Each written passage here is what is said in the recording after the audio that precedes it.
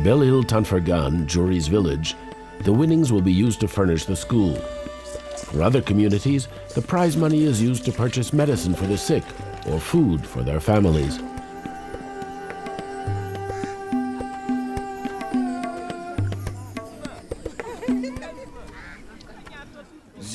I have four families.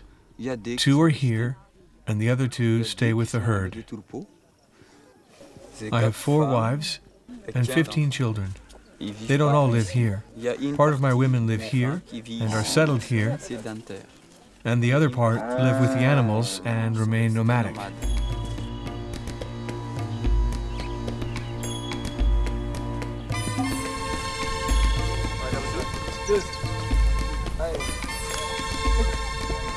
All Woodabe Peuls are cattle breeders.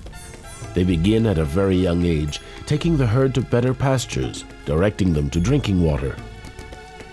Gaby, one of the jockeys, spends all his time after his morning training taking care of the community herd. With a lot of hard work over the centuries, these people have developed their own breed of cattle, distinguishable by its long horns, and called Bororo cattle. Not long ago, they migrated over vast territories throughout Niger with their herds. Today, because of the scarcity of water and increasing desert land, the Woodabe can no longer keep up their nomadic traditions and are forced to become geographically stable.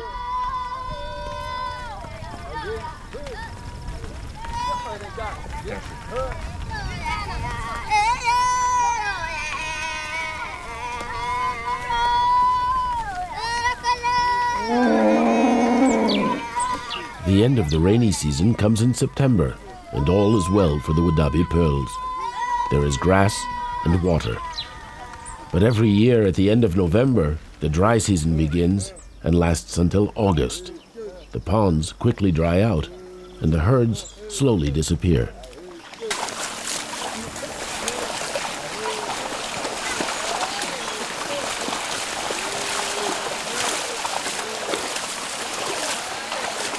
Life is hard in the bush the rest of the year. Sometimes, when there's no more water, swarms containing millions of crickets attack all vegetation and leave famine and desolation everywhere.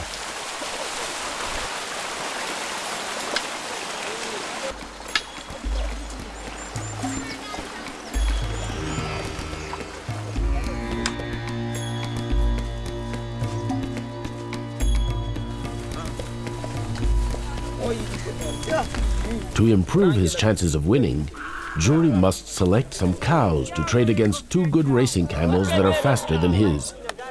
The new camels have been reserved for some time now, and today he will go make the trade.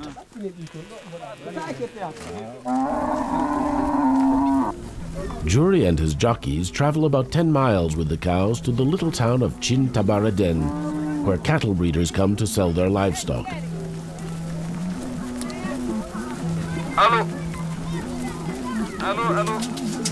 Going to Tchintabaraden is always fun, except for the Bororo cows.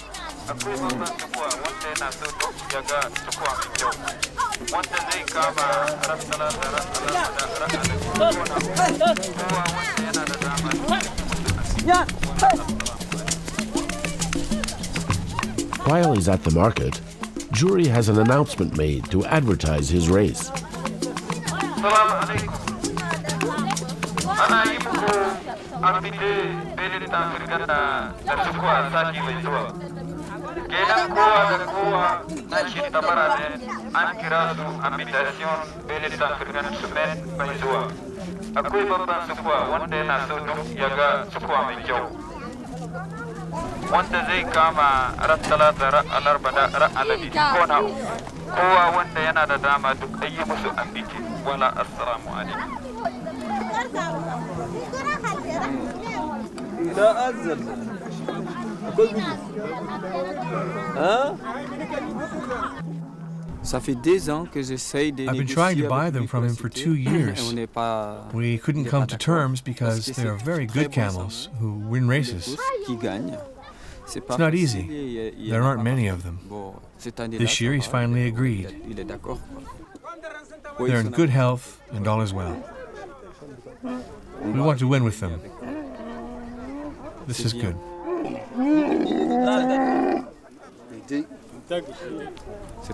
This is very good. They're a good size. This is just the right type of camel for the races.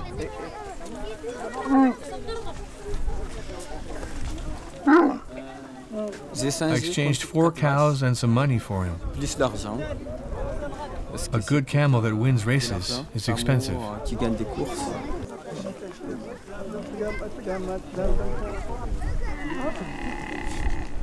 Gebi and Dadi will ride them. Now that we've made the trade, they'll take them home, and I'll take the bush taxi back.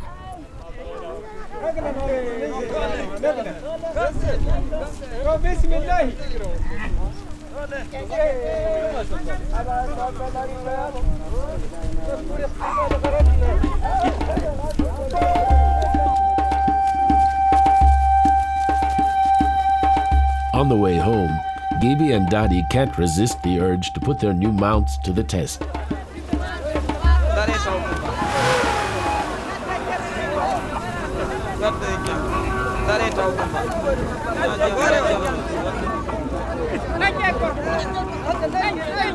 In spite of this rudimentary transport, Djouri returns to Tanfergan very happy about the trade he's made. He feels it was a good deal.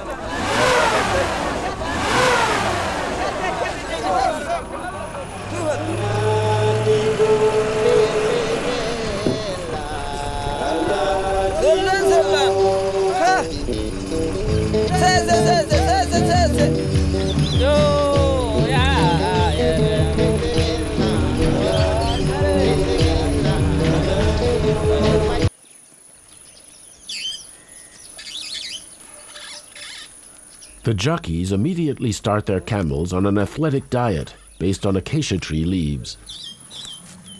A camel can go without drinking from five days to two months. But to prepare for this race, they go completely without water to keep them as light as possible. Until the end of the event, the beasts will live on their body's reserves. Before returning to see Djouri in the village, Gaby and Dadi readjust their racing equipment to the measurements of Adignes and Zitoun, the new camels.